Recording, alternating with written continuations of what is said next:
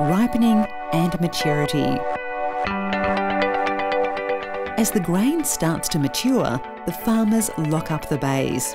This means the stops between the fields are closed, so no more irrigation water flows in and the rice crop uses the rest of the water to finish growing. Deciding when to lock up the water for harvest is an important decision. Locking up too early will decrease the yield and lower grain quality.